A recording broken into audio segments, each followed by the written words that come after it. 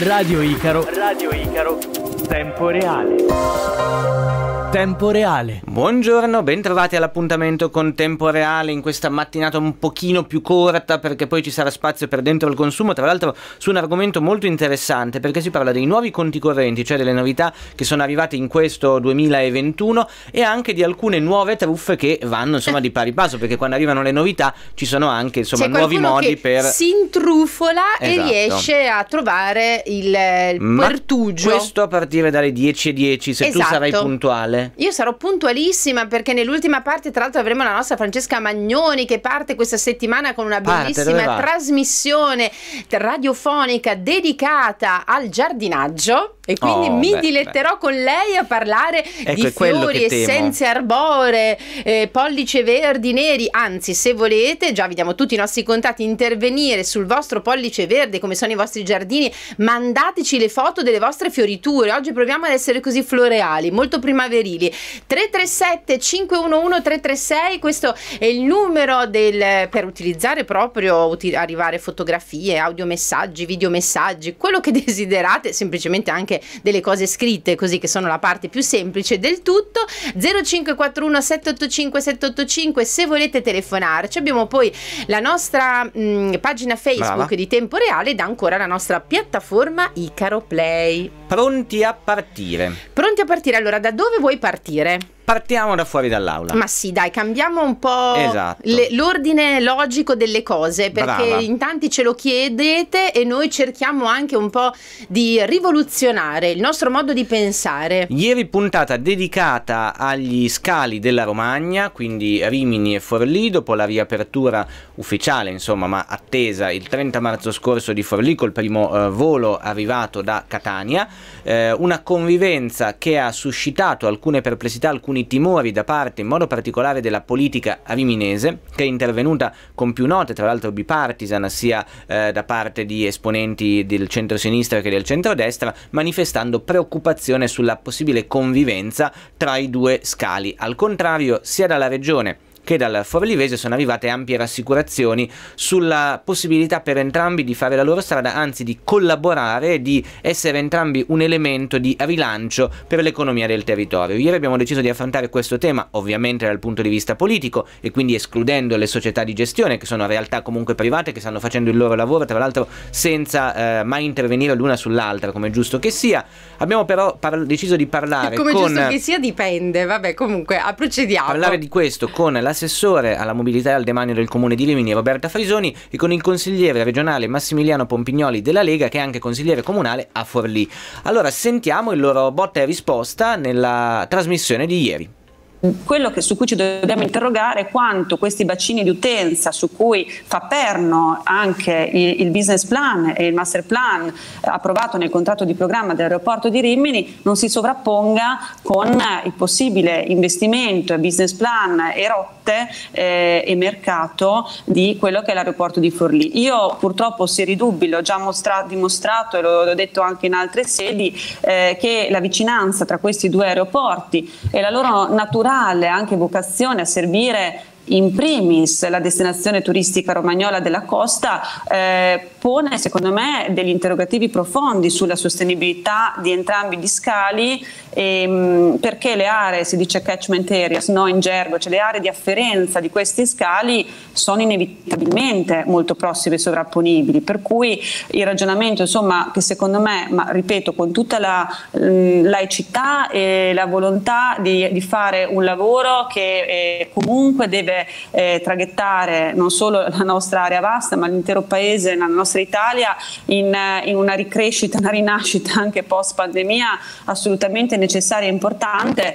Ecco, in un momento in cui poi anche il business aviation sta avendo tutte le difficoltà del mondo perché muove passeggeri, muove persone, il Covid invece tiene ferme le persone come sappiamo bene, io ho dei profondi interrogativi e dubbi sulla mh, capacità di poter essere, eh, diciamo così, così sul, sul, fatto che non ci sia una sovrapposizione sul, sui possibili mercati. Non vedo rischi. Allora, mh, mm, il, il, problema è, è semplicemente eh, molto eh, banale, nel senso che nel 2013, come avete ben detto nel servizio, i due aeroporti sono eh, di fatto falliti. eh, i problemi dei fallimenti mh, dei due aeroporti, non entro nel merito dei problemi dei fallimenti, però è evidente che probabilmente all'epoca non c'era ancora quella spinta territoriale che la regione eh, stava dando dal punto di vista dell'attrattività eh, de, del, del turismo. Sono passati sette anni, sette anni difficili, l'aeroporto di Rimini ha avuto le sue vicissitudini come le ha avute quelle, eh, quelle di Forlì. Eh, credo che oggi eh, ci sia spazio e margine per poter collaborare. Mm, la parola collaborare dovrebbe essere al centro dell'attenzione di ogni intervento che si faccia dalle parti politiche, eh, rappresentanti di partiti anche diversi eh, tra, tra, i due, tra i due comuni a livello di collaborazione. Questo deve essere un dato fondamentale perché diversamente si potrebbe creare quell'attrito che mm, non si deve creare e che potrebbe eh, alimentare eh, ulteriori polemiche eh, per il proseguo delle, de, delle, attività. Ricordiamoci anche che i 12 milioni che sono arrivati da poco all'aeroporto di Rimini eh, sono mh, mm, arrivati sotto forma di aiuti di Stato. È chiaro che l'Europa ci sta guardando, sta guardando se eh, effettivamente eh, ci siano le possibilità di coesistenza ed è ovvio che se iniziamo a creare attriti tra le, due, tra le due parti non arriveremo mai ad una soddisfazione rispetto a quello che è il lavoro fatto da tanti imprenditori. Eh, adesso io parlo di Corbucci a Rimini e eh, di Silvestrini e San Savini a Forlì, dove hanno speso risorse proprie, ricordiamo che eh, non ci sono investimenti pubblici sul, sulla società di gestione, eh, e potrebbero sfumare veramente in diatribe che non servirebbero veramente a nessuno quello che non penso che ci si debba sottrarre come decisori pubblici è quando ci sono delle scelte da fare, se, devono, se, se serve farle perché magari si ravvedono dei rischi nel eh, supportare magari parallelamente in questo caso due scali, ecco eh, quel, in quel momento si dovranno fare le scelte corrette, non, eh, che non vuol dire non collaborare ma vuol dire cercare di utilizzare anche al meglio le risorse pubbliche del nostro paese e cercare di fare squadra. Io sarei la, sicuramente la persona più mh, felice del mondo se, eh, scali, se fossi mh, consapevole già da adesso che entrambi gli scali eh, hanno questa potenzialità. Eh, vedendo, essendo un po' del mestiere, vedendo un po' come sono andate le cose, non posso che avere questa preoccupazione perché eh, onestamente credo che le aree di riferimento si sovrappongano molto e che il rischio ci sia. Però non è, un rischio, non è una valutazione pregiudiziale ecco, quella che, che voglio fare, ci sarà una valutazione poi puntuale da parte anche dell'ente regolatore e se ci sono, come auspico, perché veramente me lo auguro, magari le condizioni per cui con l'esplosione del turismo nella nostra regione, con delle prospettive di crescita future su cui tutti puntiamo e stiamo lavorando alacremente, si sostengono anche le previsioni future dei, dei due scali, eh, ben venga, ma non sarebbe corretto ecco, da parte mia, da parte nostra anche, non è una posizione come dire pretestuosa del comune di Rimini perché vuole fare una lotta a un altro comune, è, è più una posizione di, dei decisori pubblici che sono eh, consapevoli e ponderati nel valutare le scelte e che hanno questa, consentiteci, la legittima preoccupazione perché la storia passata ci ha già lasciato insomma, dei segni. Mm, ho sentito le parole dell'assessore le, le sento eh, la sento un po' sconfortata eh, rispetto a, a, a, questo tema. E, e, e, da questo punto di vista qui credo che eh, ci si debba veramente mettere eh, a testa bassa per affrontare allora, politicamente un obiettivo di coordinamento dei quattro aeroporti eh, a livello regionale, poi ci saranno altri enti che dovranno eh, certificare se effettivamente eh, possono tutti coesistere, però a livello regionale quello che possiamo fare è metterci attorno a un tavolo. Poi dall'altro lato credo che anche la politica a un certo punto si debba fermare eh, questi sono scali gestiti da privati. Questi due scali non vendono merci drasticamente diverse, vendono probabilmente lo stesso bacino turistico e quindi eh, ribadisco, però su questo co- convergo anche col consigliere che non saremo noi poi a deciderlo, eh, questi due scali si faranno una, una, loro competizione, ma questa competizione passerà anche al vaglio delle valutazioni del nostro ente regolatore nazionale e che ENAC che ha già fatto delle valutazioni per esempio sul business plan dello scalo di Rimini che si basano su certe previsioni di poter eh, attirare, attrarre con l'aviation eh, turisti del nostro bacino turistico e quindi eh, mi aspetto che quando si farà il vaglio anche di altri scali si tenga, naturalmente dovrà tenere conto anche, anche di questo. Si è bloccato. si è, si è bloccato sul, sul finale l'intervento ah, di Roberta Fede. Sì, mancava, mancava pochissimo al, al, termine. Beh, insomma, diceva che la decisione finale spetterà ovviamente ad enti superiori che terranno in considerazione come hanno fatto con eh, l'aeroporto di Rimini, quindi ah, nel business plan si parla anche delle possibili rotte dei bacini di utenza, così dovranno fare con eh, altri scali e verificare che non ci siano conflittualità eh, per quanto riguarda gli obiettivi. Allora, diciamo che le posizioni sono state molto molto eh, espressi in maniera molto pacata da entrambi, ma comunque molto eh, distanti, diciamo eh, più perplessità da parte dell'assessore Frisoni sulla possibile capacità di convivere di questi due scali, appunto perché secondo lei insistono sul medesimo bacino e perché possano eh, entrambi eh, proseguire in maniera florida la propria attività c'è bisogno che questo bacino si allarghi, quindi vuol dire che o aumenta di molto anche eh, l'arrivo dei turisti sul territorio a livello internazionale, perché di questo in buona parte si,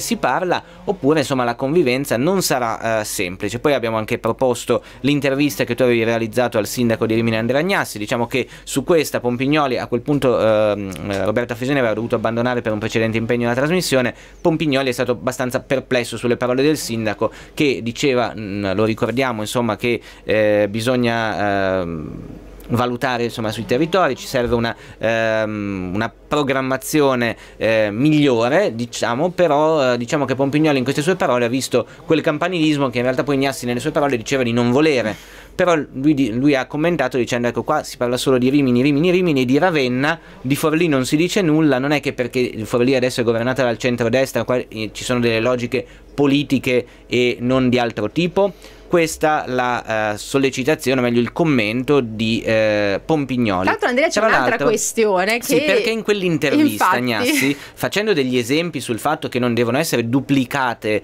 eh, le, eh, i servizi sui territori nell'area vasta, aveva detto ad esempio Ravenna, Ravenna è un grande porto internazionale, cosa ci mettiamo? Noi a Rimini a realizzare un avamporto per le navi da crociera quando c'è già Ravenna? No, fruttiamo quello di Ravenna che può portare gente in tutta la Romagna. Ecco, qualcuno ha fatto notare commentando la puntata che in realtà proprio la scorsa settimana, in un dialogo tra l'assessore Montini e l'assessore eh, regionale Mammi, Rimini ha proprio parlato della necessità certo. di realizzare, se non sbaglio, proprio un avamporto sì. eh, nel quale far mh, attraccare, ormeggiare sì, le certo. navi da certo. crociera per poi portarle sul territorio. Qualcuno ha visto insomma una incongruenza tra queste dichiarazioni arrivate a 7-8 giorni di distanza l'una dall'altra. Diciamo che l'idea non è tanto appunto appunto quella di accogliere per lungo tempo, adesso chissà se queste navi da crociera da una parte o dall'altra arriveranno mai, cioè già in altri porti ci sono perché sono più grandi, hanno la capacità anche di ormeggiarle eventualmente per periodi più lunghi, io penso che quello che eh, ipotizzi Rimini nel tempo e nel futuro sia la possibilità di rivedere, transitare davanti alla nostra costa le navi da crociera perché si possano fermare magari con lance che ne so elettriche, così non inquiniamo neanche l'ambiente, arrivi immagino. Si era parlato di lance elettriche? Di lance elettriche? No, no, no Lo dici tu, no? Perché io ho visto un altro. Io, lo dico io. Perché un... questo lo diceva in un altro intervento, insomma, ragionando un po', ma qui stiamo veramente parlando del futuro. Eh, Manuela Fabri, ricordiamo, presidente di Basta Plastica in Mare, che ricordando il 1992, quando in occasione del 150 del primo stabilimento balneare di Rimini, eh, un gruppo di imprenditori riminesi, lei lo ricorda bene, c'era anche Gianni Fabri, allora patron del Paradiso, Paradiso ottenne che l'ammiraglia di Costa Crociere si fermasse per una sera di fronte a Rimini, era a 5-6 miglia dalla costa e in, i passeggeri dell'ammiraglia di Costa Crociera eh, poterono in qualche modo assistere ai fuochi d'artificio che la riviera fece in quell'occasione e dall'altra parte tutti coloro che erano in costa po- mm, riuscirono a vedere le lucine della nave da crociera, però era un po' un Rex per una notte, un po' sulle suggestioni felliniane. Oggi dice la, eh, la Manuela Fabri, insomma non ci sono più le condizioni, sicuramente è un turismo, almeno lei da ambientalista, che non farebbe bene a Rimini, però insomma è forse ancora una riflessione di molto ipotetica, diciamo, diciamo così.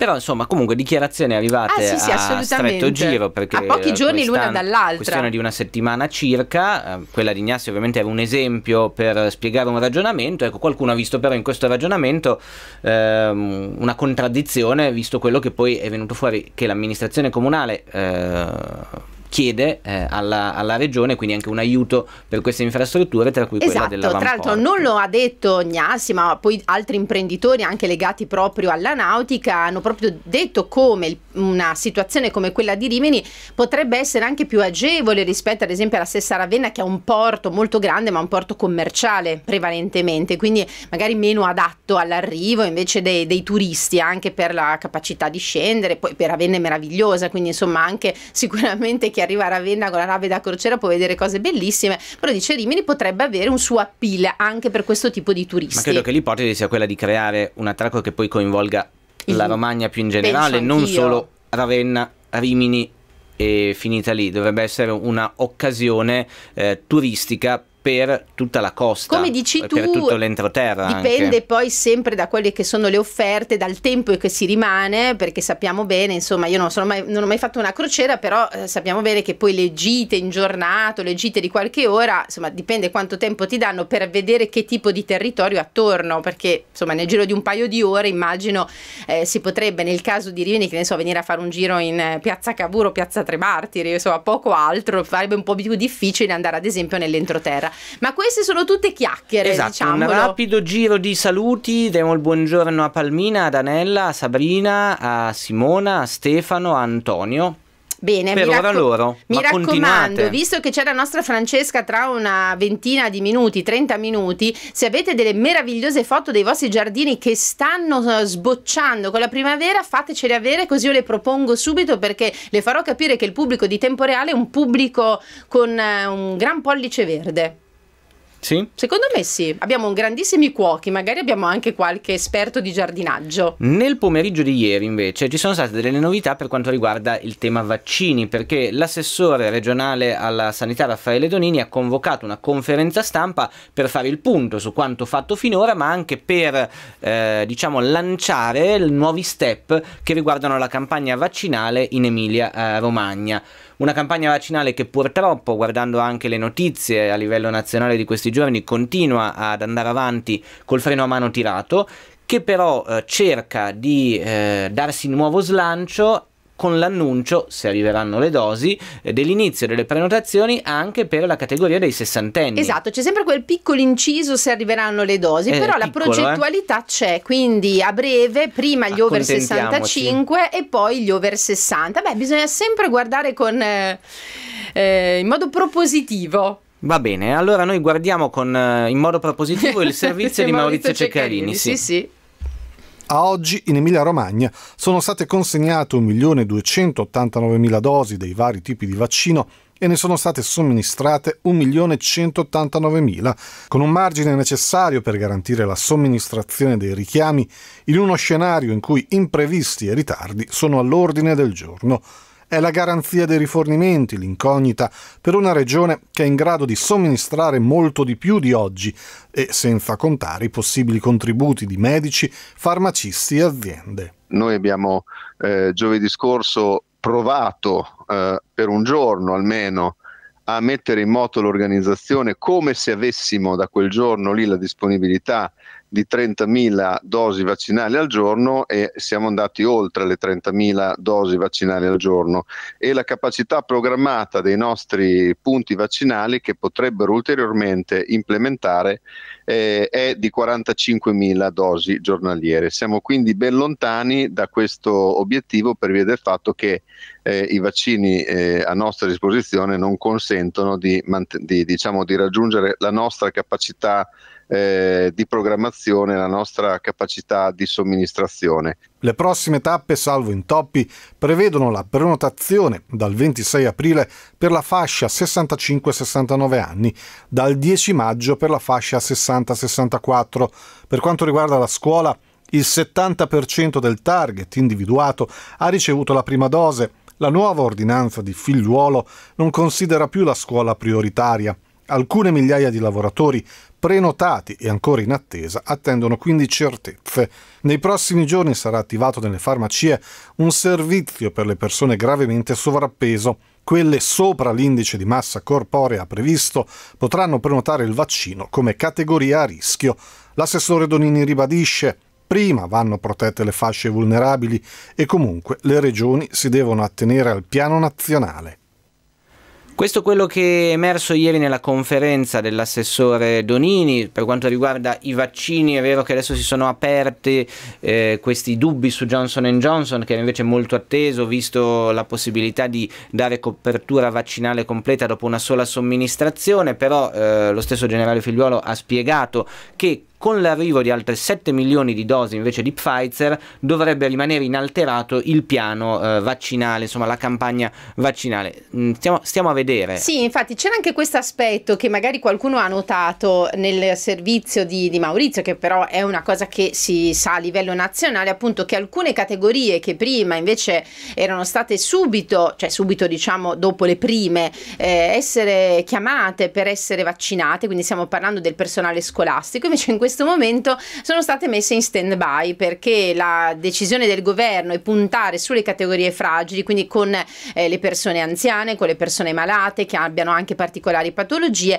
e quindi ci sono una serie di insegnanti che non erano riusciti a fare la prima dose di vaccino per una serie di motivi che c- dovranno cercare di capire come fare. Parlo degli insegnanti ma anche del personale scolastico perché il tema della scuola in realtà è un tema molto presente, quotidianamente i giornali ci fanno presente come eh, è ripartita la scuola neanche da due settimane, per alcuni, per alcuni neanche una settimana e già ci sono delle classi in quarantena con delle logiche anche di eh, fermo, di stop molto più rigorose perché c'è una quarantena eh, che deve rispettare l'intera classe se c'è un solo ragazzino o bambino positivo, ci sono i professori e i maestri che non possono entrare in altre classi se sono insegnanti di quella classe che va in quarantena, quindi con tutta la difficoltà di gestire l'orario anche all'interno di una scuola scuola. Insomma, questo è un effettivamente io penso se invece l'insegnante è vaccinato, quindi è vero, dovrà verificare se si è comunque contagiato, dovrà fare un tampone, però magari i tempi di attesa potrebbero essere molto molto inferiori e anche con un po' più di tranquillità da parte dell'insegnante stesso.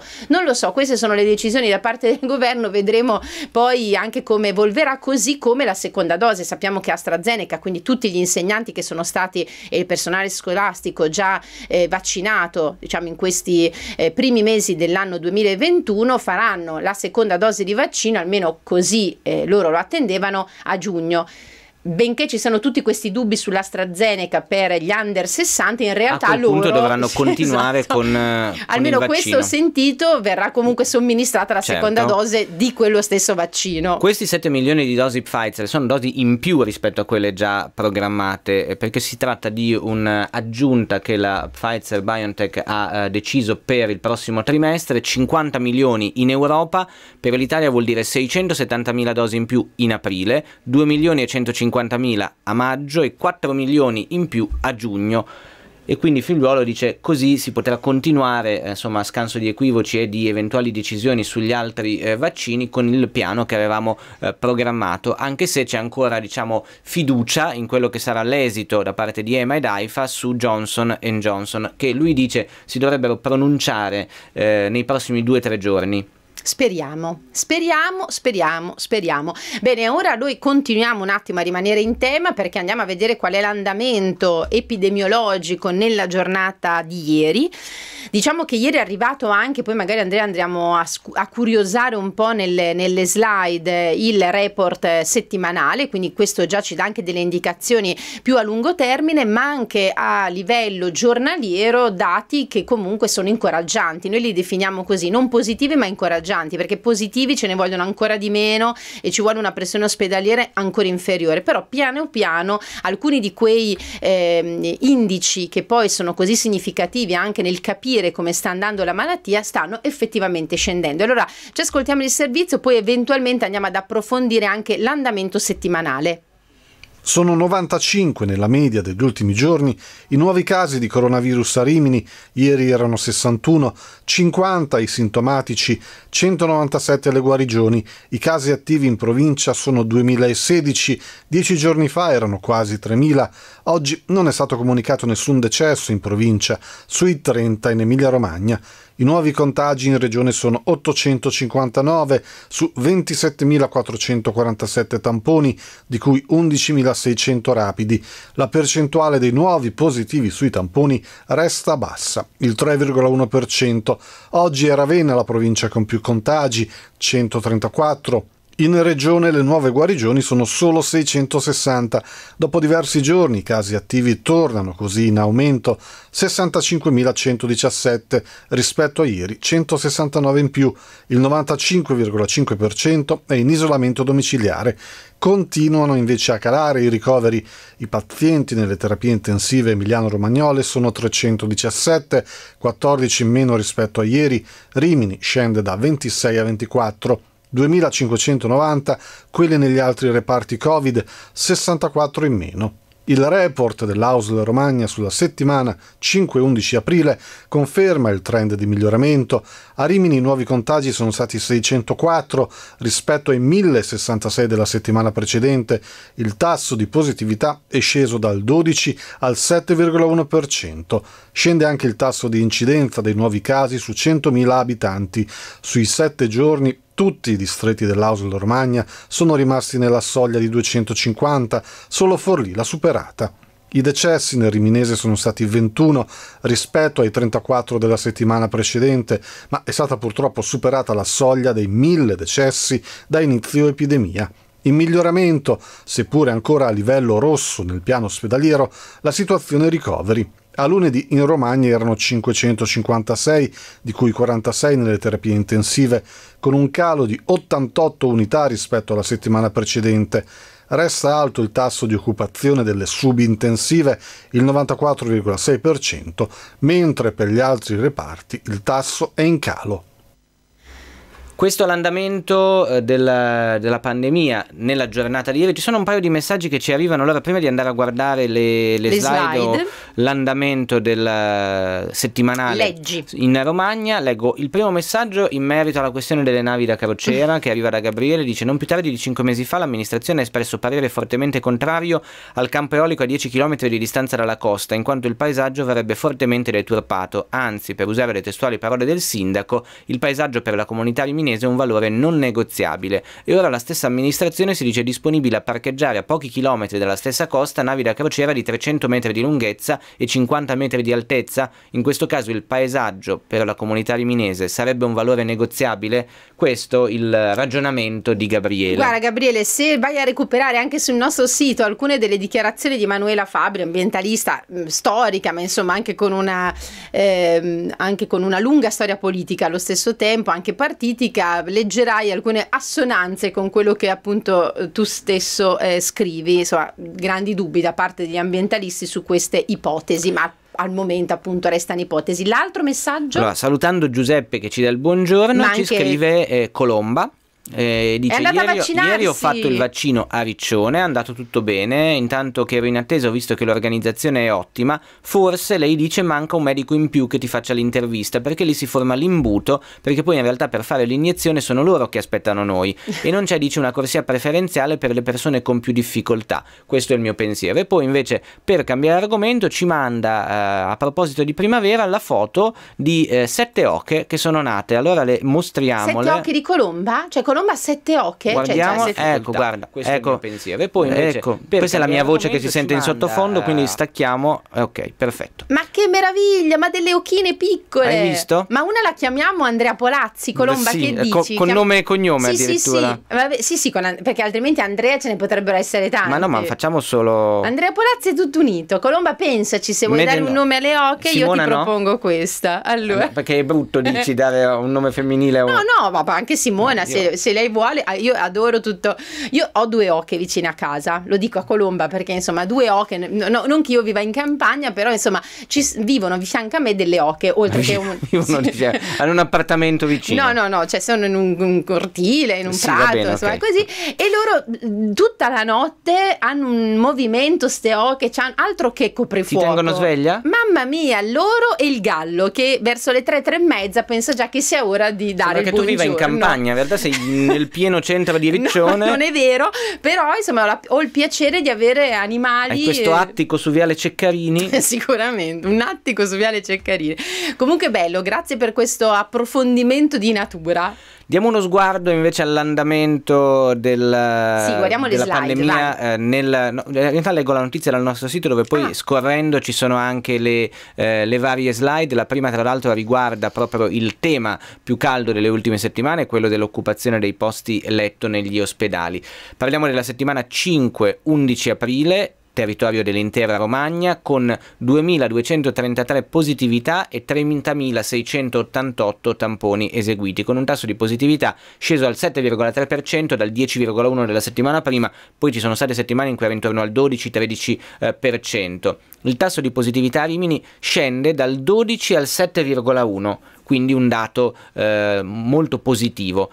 Per quanto riguarda il, la percentuale di occupazione, a lunedì 12 alle 8 del mattino, questo è la deadline dei dati riportati, si registrano 556 ricoveri, di cui 46 in terapia intensiva, con una diminuzione di 88 ricoverati rispetto alla settimana precedente. Allora eh, guardiamo eh, la percentuale di riempimento eh, nelle, eh, nei vari reparti perché abbiamo il reparto di subintensiva che di solito è sempre quello più stressato ed infatti ancora è così perché ci sono 112 persone ricoverate su una dotazione di 121 posti letto attuale per covid 92,6% nell'area di terapia intensiva le cose migliorano come detto 46 eh, ricoveri a fronte di 68 posti quindi la percentuale del 67,7 in area internistica 367 ricoverati con 533 posti letto complessivi disponibili, intorno al 68-69% di percentuale di occupazione, poi ci sono anche i reparti di malattie infettive con 31, 31 posti Covid occupati su 55 complessivi 56%, quindi percentuali in netto miglioramento, c'è però da sottolineare che si parla, quando si parla di soglie critiche eh, a livello nazionale definite appunto nell'ambito di questa emergenza, di un 30% per le terapie intensive, di un 40% per eh, i reparti, quindi vediamo che nonostante i grandi incrementi e miglioramenti che ci sono eh, stati, ancora la realtà romagnola è sopra la soglia eh, critica, quindi quello che eh, era stato definito livello rosso anche a livello di ehm, programmazione dell'AUSL Romagna. Guardando i dati della provincia eh, di eh, Rimini sono un po' piccolini, ma eh, vi dico che in provincia eh, c'è stato ehm, la settimana scorsa ha segnato un dato purtroppo negativo mm. che è il superamento di quota 1000 per quanto riguarda i decessi dall'inizio dell'emergenza. Sono arrivati a 1000 e 19, 21 la scorsa settimana, erano stati 34 in quella precedente.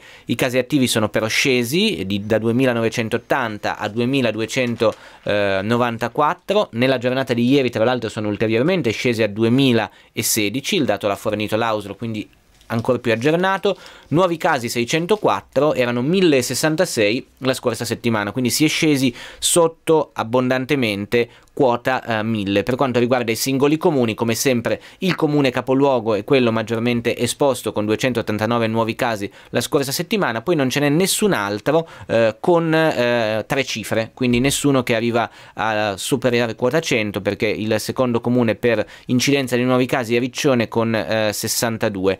Sopra quota 100 per quanto riguarda i casi attivi restano Sant'Arcangelo con 179, quindi casi attivi totali, esatto. non solo quelli della scorsa settimana, Riccione con 124, Coriano 128, Cattolica 105. Ci sono anche alcuni comuni che sono arrivati, o meglio un comune che è arrivato a quota 0, quindi eh, diciamo che eh, non ha avuto nuovi casi la scorsa settimana, che è il comune di Maiolo, così come il piccolo comune di Casteldelci, come quello di Sant'Agata, quindi l'Alta Valmarecchia la scorsa settimana non ha registrato eh, tanti nuovi casi, anche a livello di casi complessivi, ad esempio c'è Gemmano che ha zero casi attivi, e qua siamo invece in Valconca, quindi in questo momento Gemmano è covid free. In questo momento e sappiamo che purtroppo poi ci sono magari anche solo degli scostamenti piccoli, però ci fa piacere anche dare queste buone notizie, come si suol dire. L'ultima, l'ultima, indicazione che eh, volevo dare è il tasso di incidenza dei nuovi casi per 100.000 abitanti. In questo caso parliamo del dato su 7 giorni. Di solito la, l'AUSL dava quello a 14 giorni, in questo caso da quello a 7, che poi eh, credo sia quello preso in esame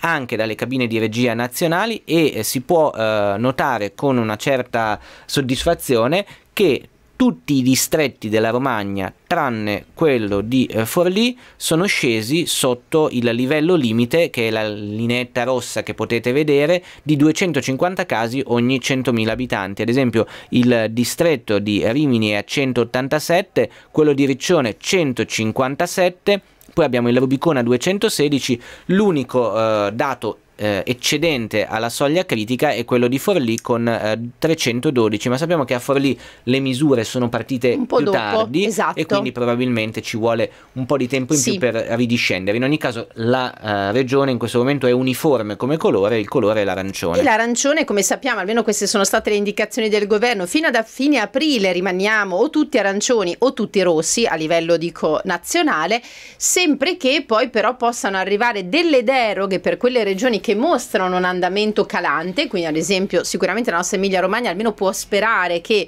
qualora il governo decida prima della fine di aprile, bah, siamo già a metà aprile, insomma vediamo un attimo, eh, di arrivare con delle deroghe, perché questo era stato detto, eventualmente per le regioni più virtuose, tra virgolette, dal punto di vista dell'andamento epidemiologico, ci sarebbe la possibilità di pensare a qualche apertura nuova. Vedremo, io sinceramente, insomma, eh, stiamo ad aspettare, forse più maggio che aprile, oppure invece, visto che Draghi lo ha detto, perché no, magari anche prima. Vediamo, vediamo vediamo come evolve la situazione. Diciamo che questi dati, se effettivamente anche nelle prossime settimane, ora sappiamo è ripartita la scuola, per cui insomma ci potrebbe essere anche qualche cambiamento mh, in peggio eh, su questo versante, però che eh, insomma i dati rimangano mh, buoni e anche perché no calanti e quindi si possa anche prevedere delle ulteriori aperture. Ce lo auguriamo soprattutto per i nostri operatori perché guarda, ieri Andrea velocemente do questa notizia, ma eh, negli ultimi giorni il comune di Rimini, ma anche altri comuni stanno dando delle notizie relative alle persone che vengono aiutate, vengono aiutate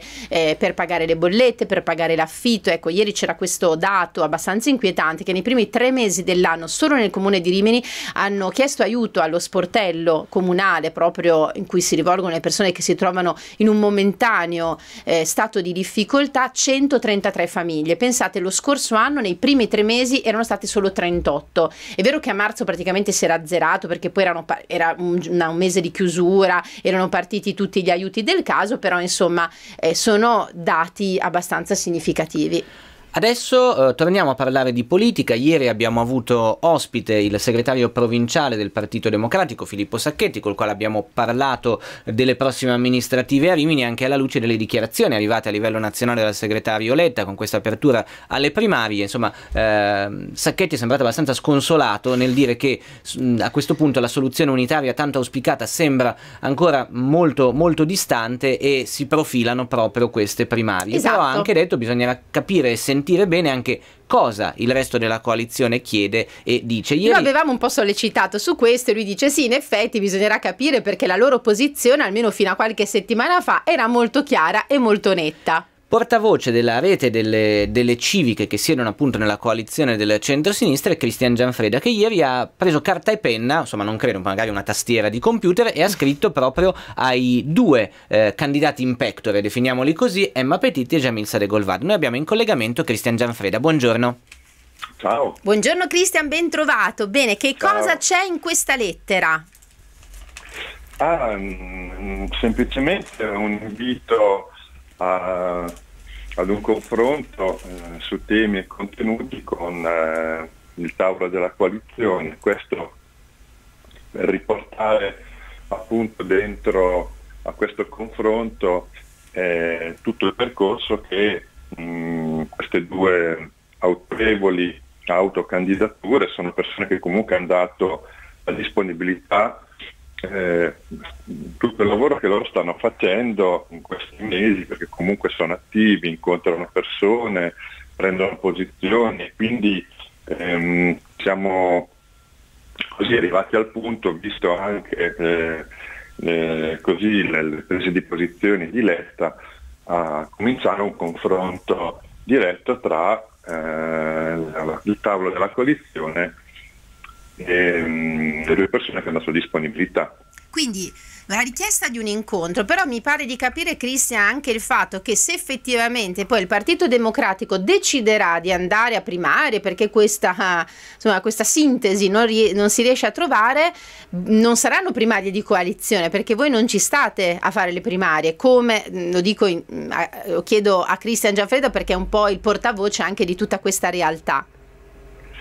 Ma allora, innanzitutto, eh, essendo due candidati del PD, diventa, diventa insomma, curioso fare delle primarie di coalizione essendo entrambi dello stesso partito, ma non è tanto questo, ma il fatto che comunque eh, questo percorso sin dall'inizio eh, ci è sembrato un po' un rincorrere una situazione che eh, non era non era quella che ritenevamo migliore no? nel percorso di tutto il centro-sinistra, perché eh, già di per sé eh, l'autocandidatura, quindi l'entrata in campo senza degli accordi preventivi, ha rotto in qualche maniera un po' eh, il, il, percorso politico che si stava attuando, no? cioè ehm, cominciare a mettere insieme eh, le forze, parlare di progetti, di idee e di candidati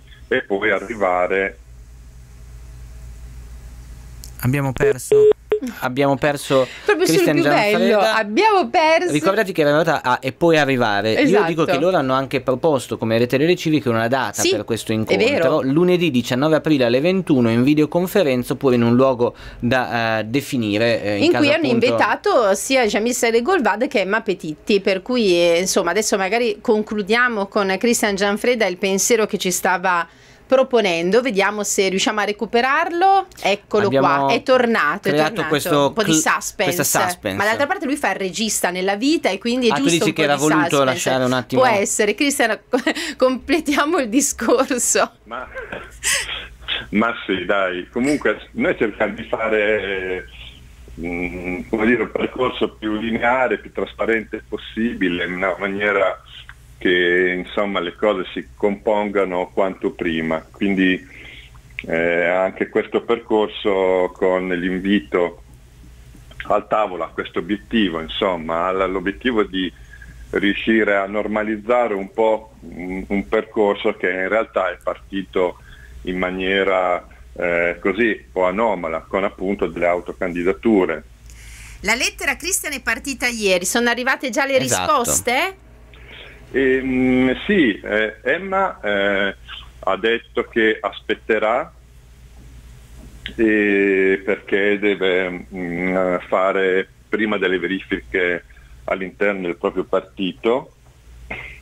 Adesso riassumo un concetto in realtà ben più complesso e invece Jamil ha dato eh, il suo ok, quindi ad oggi eh, siamo in questo punto. Abbiamo un sì e un forse.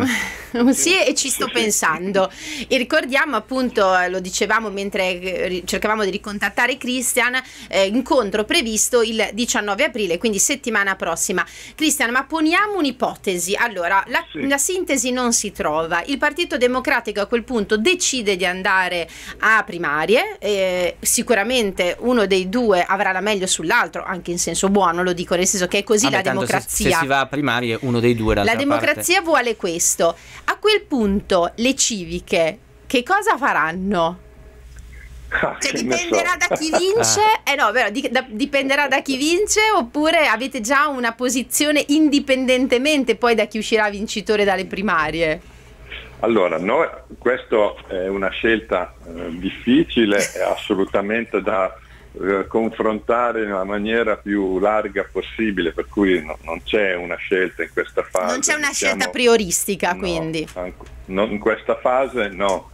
Noi in percorso eh, di questo tipo, lo andremo poi a confrontare di volta in volta, passaggio per passaggio e valutiamo bene poi il da farsi perché cioè, noi dobbiamo pensare di eh, cercare di avere un, un candidato forte, un, un, percorso lineare, trasparente, unitario. Questo è stato sin dall'inizio no? la, la, la, l'obiettivo del nostro agire. Dopo le difficoltà sono, come dire, è politica, quindi sono normali, però Uh, come dire, um, scelte del genere le faremo al momento opportuno. Diciamo che al momento la posizione è netta, è molto chiara, rimane la, la medesima di espressa lo stesso Cristian Gianfredo. Cercare una la... soluzione condivisa e unitaria. Esatto, ci provate ancora. Ah sì, fino alla fine. Quando questo non, non succederà più prenderemo le nostre scelte. Ringraziamo allora Cristian Gianfreda per averci espresso la posizione della rete delle civiche, ma anche degli altri, degli altri, partiti sì, che certo. fanno parte della coalizione, perché sono eh, tanti eh, in questo momento. E poi noi staremo a vedere quello che accadrà, magari già martedì dopo questo incontro che ci sarà, se ci sarà appunto con tutti gli esponenti, avremo delle certezze in più. Cristian, grazie. Ciao. Buona ciao. giornata. È una situazione complicata. Mm, mm? Sì. Sì, sì, infatti. Anche noi... ieri abbiamo sentito piuttosto sconsolato Sacchetti.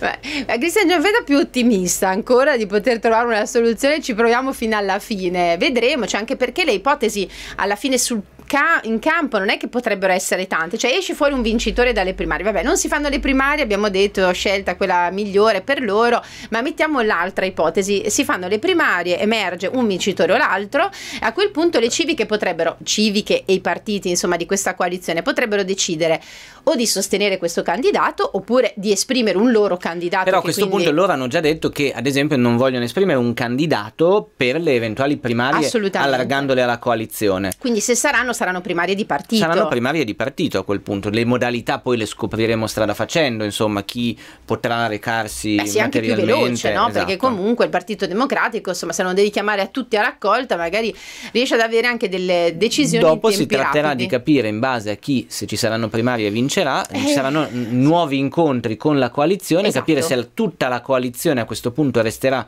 unita oppure se qualcuno si Chissà. sfilerà in base appunto alla, alla situazione. Tra l'altro una coalizione che è ancora in divenire perché eh, abbiamo sentito anche il segretario comunale Vanni Lazzari dire bisogna comunque intavolare una discussione con il Movimento 5 Stelle come sta accadendo anche a livello nazionale. Restando un attimo in tema politico, Andrea Riccione, dove eh, sta facendo un po' di eh, clamore quello che riguarda Riccione Civica, che sta perdendo un po' diciamo, i pezzi perché eh, ieri è arrivata la eh, notizia del, ufficiale. ufficiale, era un po' di tempo che sì. in realtà era nell'aria dell'addio di, della Carbonari, che era eh, una... Ehm, consigliera comunale eletta col Movimento 5 Stelle, poi passata a Riccione Civica come Andrea Del Bianco, ecco, la, uh, ha, insomma, per motivi personali ha detto di essere eh, costretta a abbandonare la sua Ricordiamo. Ricordiamo che c'era già stata in, la dipartita di Carlo Conti, quindi insomma... E poi ieri ha ufficializzato, sempre ieri, Carlo Conti l'abbandono di Riccione Civica per passare in, nel gruppo misto. Dove c'è Ubaldi? In Consiglio Comunale, dove già sedeva già dall'inizio Ubaldi, che benché insomma eh, vicino inizialmente alle posizioni di Riccione Civica, lui era eh, all'interno di Italia Viva, credo, quindi Mm, Tra l'altro, Andrea, questo apre un'ipotesi che viene scritta dal Carlino giustamente perché nel momento in cui la Carbonari lascia, perché lei proprio si rimette dal consiglio comunale, a questo punto dovrà entrare, subentrare qualcuno a lui Stelle. e rientra quindi il Movimento 5 esatto. Stelle. Il primo dei non eletti del Movimento 5 esatto, Stelle. Esatto, era Alan Bianchi, chiaramente bisognerà capire poi quali saranno le scelte, visto anche eh, magari il momento che sta vivendo il Movimento 5 Stelle in quel diriccione, però ci potrebbe essere un reingresso del Movimento 5 Stelle in consiglio comunale. Vedremo. Mentre a Misano oggi si parla delle assenze eh, di eh, Claudio Cecchetto che sembra abbia presenziato dall'inizio del mandato partito se non sbaglio nel 2019 sì mi 2019 sì. 2019 sì, si è andati a votare una sola volta. Beh insomma dai almeno una volta ci è andato Però ad esempio c'è invece Sara Savoretti, guardiamo le notizie buone, che, incass- eh, che è sempre stata presente. Esatto. Quindi ha incassato tutte le presenze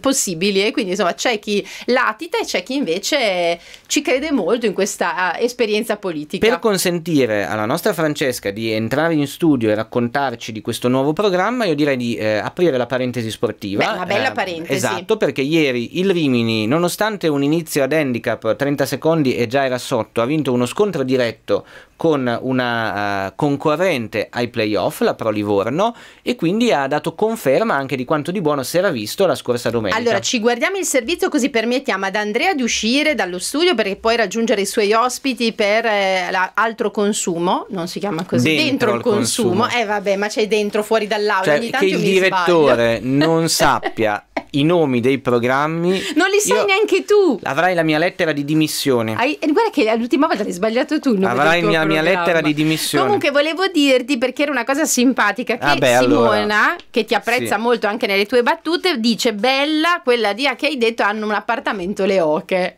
No, loro hanno molto di più, hanno un intero prato per loro. Esatto, hanno più spazio di te. Quindi, Quindi, fra poco Andrea dentro lo consumo dentro parleremo di consumo. nuovi conti correnti, nuove truffe con gli avvocati Federica Manenti ed Enrico Moretti. E adesso invece ci guardiamo lo sport e poi parliamo di giardinaggio. Ripreso il cammino sul campo del Cortisella dopo l'inciampo con la San Maurese, le Rimini tenta l'assalto al quarto posto occupato dalla Pro Livorno che precede i biancorossi di quattro lunghezze ma che ha giocato tre partite in più di Scotti e compagni. I toscani domenica hanno pareggiato con il Lentigione. Mastro Nicola ritrova Nigretti che ha scontato il turno di stop ma deve ancora fare a meno di Gomisse, di giovani Ceccarelli e Santarini. Confermata per 11 undicesime la formazione di partenza di tre giorni fa. Dopo 41 secondi Camarlinghi, già segno all'andata, porta in vantaggio la Pro Livorno. Il numero 10 ospite ruba palla a Simoncelli, avanza e tenta il tiro, rimpallato da Pupeschi. Ci riprova e questa volta trova la rete. All'undicesimo Viti in area per Vutai che controlla ma poi scivola sul più bello e l'opportunità sfuma. Al quarto d'ora idea di Ricciardi per Vutai che non trova il tempo per la battuta. Sul proseguo dell'azione, Sambò può colpire di testa, parata facile per Blundo. Al diciottesimo Granito può calciare da dentro l'area, Scotti si salva. Un minuto dopo, Sambò pesca in area Vutai, il cui diagonale si vira lato di un niente. Al ventesimo ancora Sambò per Casolla, che lavora palla, poi mette al centro per Simoncelli, che spedisce a fondo campo. Al ventiquattresimo corner per il Rimini. Dalla bandierina Simoncelli, Valereni tocca e Casolla mette in rete 1-1. Terzo gol consecutivo per l'attaccante di Mastro Nicola che sale a quota 6 nella classifica marcatori. Al ventottesimo l'arbitro indica il dischetto per un intervento di Pecce su Bachini. Dagli 11 metri calcia Rossi, Scotti si tuffa alla sua sinistra ed è via in angolo. Anche all'andata Rossi aveva fallito un rigore. Sugli sviluppi del conseguente corner, lo stesso Rossi colpisce di testa, nulla di fatto. La legge del calcio si abbatte sulla Pro Livorno, gol sbagliato, gol subito. E Ricciardi con un colpo di sinistro a completare il ribaltone per i biancorossi, 2-1. Al 36esimo la punizione di Vutai è troppo centrale per creare grattacapi a Blundo. Al 38esimo Granito appoggia per Bacchini, la cui fiondata finisce a lato. Al 41esimo sugli sviluppi di un corner, Sambò calcia sull'esterno della rete. Un minuto dopo punizione di Ricciardi dalla tre quarti per l'incornata di Pupeschi, sfera alta di poco. Al 45esimo Camarlinghi può tentare il destro da dentro l'area, diagonale largo. Si va all'intervallo con il Rimini avanti di un gol. Al quarto della ripresa, cross al bacio di Pecci per l'incornata di Vutai che impatta male da ottima posizione. Al diciannovesimo il Rimini trova il terzo gol. Il cross da destra di Pecci è sporcato da un difensore. Casolla si coordina a centro area e supera Blundo, completando la doppietta personale, la sua seconda consecutiva. 3-1 e settimo sigillo stagionale per il numero 17 di Mastro Nicola. Al ventisettesimo numero di Pecci sull'auto di destra, il suo traversone viene messo in angolo dall'estremo ospite. Al trentunesimo cross di Casalini sugli sviluppi di un corner, il colpo di testa di Mattia Falleni chiama Scotti agli straordinari. Al minuto 33 la punizione da posizione defilata di Simoncelli è centrale, Blundo blocca senza affanni. Al 35esimo angolo di Ricciardi, incornata di Pupeschi, niente di fatto. Al 43esimo Casalini chiama la respinta Scotti. Un minuto dopo la punizione di Petri sorvola la traversa. Passa ancora un minuto e Mancini impegna severamente Scotti che risponde ancora presente. Al 49esimo Bartorelli si fa soffiare il pallone da Vutai che si invola verso la porta di Blundo e un passo dentro l'area disegna il diagonale del 4-1 con cui si conclude l'incontro. Il Rimini bissa la vittoria dell'andata e sale a quota 39 in classifica. Ora la Pro Livorno è avanti di un solo punto. Molto molto bene per il Rimini, speriamo insomma che questa corsa continui e quindi almeno ci si possa godere i playoff, ma non diciamo niente perché tutto può essere anche insomma non utile ad ottenere il risultato. Due messaggi al volo prima della nostra, non dico ospite perché insomma della nostra amica Francesca, ma eh, due messaggi importanti perché Gabriele scrive il direttore deve essere sollevato dal suo incarico, anch'io sottoscrivo questa richiesta, quindi Gabriele concordo con te, andrò subito a richiedere chiedere questa, questa, cosa perché non mi ricordo i nomi dei programmi. Poi invece c'è un messaggio più serio che ci arriva da eh, un'amica, da Anna Rita, che dice: Tanto che non vi scrivevo, volevo comunicarmi un enorme disservizio sulle prenotazioni CUP telefoniche da lunedì pomeriggio, esattamente dal 12 aprile, che prova a prenotare analisi e visita dopo un'attesa di più di 18 minuti. Hanno chiuso la comunicazione, questo per tre volte. Lo stesso martedì 13 aprile, ieri mattina subito all'apertura del CUP mi risponde un'operatrice, mi dice di richiamare perché il sistema è in riparazione situazione. Eh, io mi lamento e per curiosità chiamo eh, prenotando il codice vaccino numero 5. Dopo sei minuti di attesa mi rispondono, hanno notato numero di operatrice. Dopo essermi lamentata del disservizio, mi dicono che loro non possono prenotare, giustamente è un altro numero, le analisi. Poi ci riprova ancora. Mm, prima le dicono sei minuti di attesa che diventano 11. Prova a spingere cancelletto per essere richiamata, ma poi richiudono la chiamata. Sono quattro giorni che provo con grande perdita di tempo e tanta arrabbiatura natura. Anna che dire, hai ragione perché insomma poi la vita scorre e non è che possiamo sempre stare lì a cercare di prendere appuntamenti. Capiamo le difficoltà legate anche al grande carico di lavoro per le vaccinazioni, ma questo non significa che non devono essere attivi di altri servizi perché le persone giustamente hanno bisogno anche di eh, curare altre patologie che hanno e quindi prenotare esami, eh, visite e quant'altro. Sappiamo tra l'altro che le attese sono anche molto molto lunghe in questo periodo, insomma non è semplice, non è affatto semplice, quindi ci piaceva dare due, eh, questi due messaggi, condividerli con voi, ma adesso non perdiamo altro tempo perché arriva la nostra esperta di giardinaggio, io sono felicissima di averla qui con noi, in realtà lei non è proprio l'esperta perché no. c'è un'esperta che la accompagna, ma sicuramente ha avuto l'idea di un bellissimo programma. Buongiorno Francesca. Buongiorno Simona, grazie per la tua introduzione, no, non sono esperta ma sono curiosa, che è, una, è uno degli aspetti che ti avvicinano al giardinaggio coraggio, la curiosità e il desiderio di sperimentare, perché quante volte no? magari ci regalano una pianta, eh, è tutta bella appena arrivata e noi diciamo e mo e dove la metto e quanta acqua deve, deve avere? Stare al sole. Deve stare al sole. Non deve stare al sole. stare al sole. La devo affogare, devo le devo affogare. dare poca acqua. Le devo dare il concime. Oddio, ora è diventata grande, devo cambiare il vaso, come si fa? Ecco, tutte queste domande ce le poniamo anche solo banalmente quando ci regalano una pianta, no? Perché poi magari la vediamo lì bella rigogliosa e dopo un mese comincia a dire eh, no, qua Franz quando, vai, quando, è un mese mi sembra tanto, Franci. Cioè, guarda, sei ottimista. E allora, un po' per questa mia curiosità, un po' perché complice la pandemia il giardinaggio, detto anche urban gardening, ov- ovvero giardinaggio urbano, ha preso molto piede. No? L'anno scorso si parlava eh, del pane fatto in casa, ma poi anche appunto del giardinaggio, ma non solo della cura delle piante eh, per l'estetica delle nostre case, proprio come occasione di dedicarsi a qualcosa di, di vivo che può crescere e addirittura, perché no, che possiamo portare sulle nostre tavole. Quindi ehm, le spezie, le erbe aromatiche, ma anche i, i piccoli, piccoli orti. orti. E quindi... Mh, mm, con questa idea, insomma, ho contattato questa amica che si chiama Chiara Bazzocchi, che anche lei, tra l'altro, ehm, non nasce come esperta di giardinaggio. Lo è diventata. Lo è diventata, lei aveva una grande passione fin da piccola, poi il lavoro d'ufficio a un certo punto eh, le, stava le, stava stretto. e ha iniziato, però ripeto, fin da piccola comunque amava, eh, come si direbbe, spataccare nelle piante, provare, metteva la, la terra nel cartone, vedeva cosa succede vedeva la Metti mamma. il semino in mezzo al cotone Esatto. bagnato e vedi che cosa si succede. è portata dietro sempre questa cosa, poi ha iniziato a fare corsi, ha iniziato a interessarsi, a leggere, a studiare tanto, eccetera, fino a quando oggi veramente tu le fai vedere, le mandi una foto di una pianta che ha qualcosa che non va e lei subito, ah guarda, quello è quella cosa lì, devi fare così, la devi mettere così, ma no Franci, cosa hai combinato? Non va bene. Benissimo. E quindi mh, lei Ma è diventato un mestiere quindi per lei? in parte sì, nel senso che lei cura anche un blog che si chiama Foglie Fusa